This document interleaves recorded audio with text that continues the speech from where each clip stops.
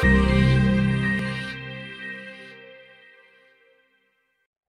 time remaining PowerBeam is just another great feature on this Thermador dishwasher that will show homeowners how much time is remaining on the cycle.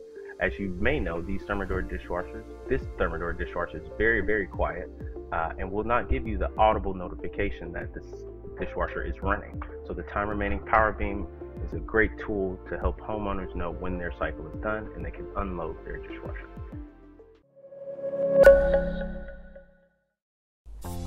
Thanks for watching our expert video. But before you click away, I've got an essential tip that you need before purchasing any appliance, and it can't be found in a blog or a video.